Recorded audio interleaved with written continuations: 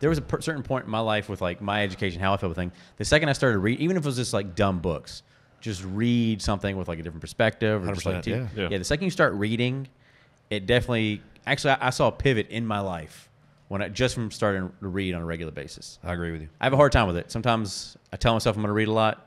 And I say I'm going to read. The next thing you know, I'm getting drunk while watching Frasier. But I say, I tell myself all the time, I'm like, you, you're gonna, you're gonna read this book, and then Right. like I just start, I'm like, yeah, but not right now though. Like, but no, I, I think, I think that's a good path, man. I, I think that's, I think, I think what people that are going to succeed going further in society are people that get creative. Yeah.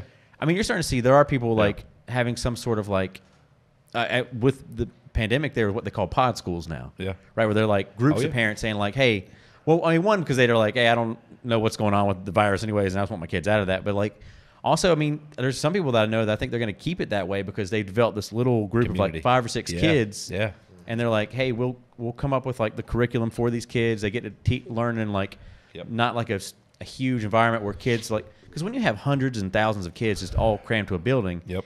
it becomes just a it's like I mean a streamlined thing where it's just like it's not about the kids, just push them through. That's right. Just- Child yeah. care. It's Yeah. it's it's literally what do we do with these kids while the parents are working? Yeah. Like that's the way it starts to feel. Yeah, definitely.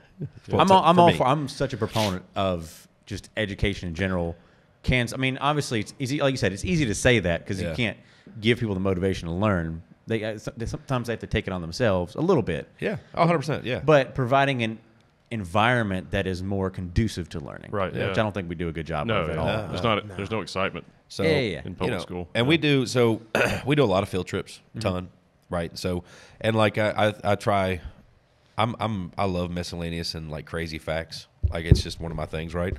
So like if you're on the beach, well we're on the beach, we're in St. Pete. So what's near St. Pete? Well Clearwater. Well there was a, a, a movie about a dolphin that has a prosthetic tail, right?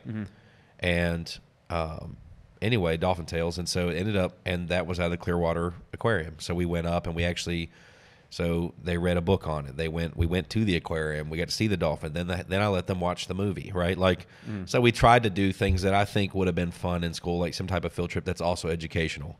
And then we learned about like St. Pete. Right now, there's uh, red tide, the tail end of red tide. So we learned. They, I'm teaching my kids about what red tide is and what supposedly what's causing it. So like, I mean, we're trying to teach them more than just the basics, the ones and zeros, and and you know, I don't know, they, and and then kind of let them do their own thing. Yeah. It's really, who knows if it's right, but it, it's working. so I mean, I, th- I think do what's right for you. Like you said, do what's right for you. Because Yeah. like for me, example for example, like I feel like I've gotten more from my teenage work experience than I did from school. I agree with that. Yeah. well, And I mean, obviously, I had a very rare situation where my father owned a, a land surveying, geomatics, civil engineering consultation Ah, company. yeah. And as old, like the second I was old enough to work, he was like, "All right, well, carry some gear through the woods." and like you know, um, and like at the time, I didn't realize I was retaining things, but as I got older, Yeah. I realized like I was picking up a lot of stuff about like mapping, about uh, about just engineering in general, Right. And it led to my what like what I do now professionally, because I, I work in an engineering field now, and I don't think I would like. I, I'm not in that field because of school. I'm in that field because of what I learned Yeah. as a teenager, working on the nights and weekends and summer with my father's company. so this thought's not complete yet, but if you think if you go back Mm-hmm. um, a ways back, you, you would look and typically the husband and it's not about uh, matriarchal systems, but the husband would work, the mother was at home with the kids, and a lot of the education took place in the home.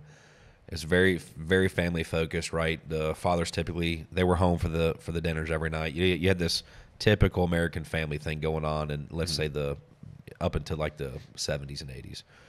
Um, And if you look, it's like now we've got systems where prior the pre the pandemic, both on average, husband and wife both work, both out of the home, uh, children in school, no time at home, and people trying to t- taking two uh, individuals to earn what one used to earn to be able to support their family, all for the to live the American dream to be able to afford to pay their rent, right, or their mortgage, and then you know to get a vacation one time a year if they're lucky. So you start to think about some of these things, and I, and I think about like what the pandemic's brought on, and I'm like, maybe this is a good reset for society to go, hey, what what's important? Like what's really? I think and I'm going to be. I think Yeah. I, I don't know what's going to come out of the next couple of years, but it's definitely going to transform society one way or the other. Yeah, I think it's de- it is. Yeah. And and you know, there's 10 million jobs available today. The newest jobs report shows 10 million jobs available, and there's 9.5 million unemployed. Mm-hmm. So there's more jobs than there are people right now. Yeah.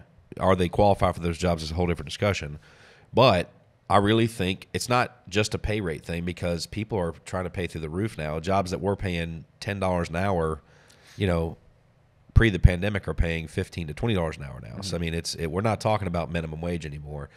I think people are really they've had a chance to not work. They've had a chance to spend time with family. They've had you know death and chaos and all this stuff going on, and I think they're really trying to figure out one they're valuing you know what do they want to do with their time and and what positions they want to be in what what's the effect on their family i think there's a whole lot of things other than just how much do i get per hour to work Yeah, do I want to work nine to five? Yeah. something I don't even like doing in the first Exactly. place. Just do people. People are tired of the grind. Yeah. which that's what I've like said before. People are like, people just don't want to work anymore. I'm like, I don't think they want to work in the grind anymore. the grind yeah it's what they're doing so now they're trying Yeah. to figure out like well, okay well, what do i want to do Yeah, and i think you get a lot of that might people fall in love with gardening. yeah And yeah, you got to spill a little devil. blood in the soil to get it to grow. But it's,